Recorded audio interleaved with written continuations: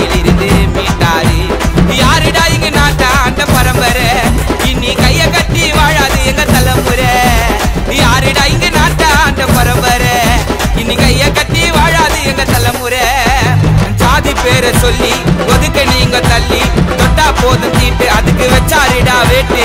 நாங்க இல்ல முன்ன மாதிரி. இப்ப மாறிட்டோங்க வேற மாதிரி. படிச்சு பேச்சு நாங்க மாறிட்டோங்க வேற மாதிரி. சொல்லும் ஜெய்பமே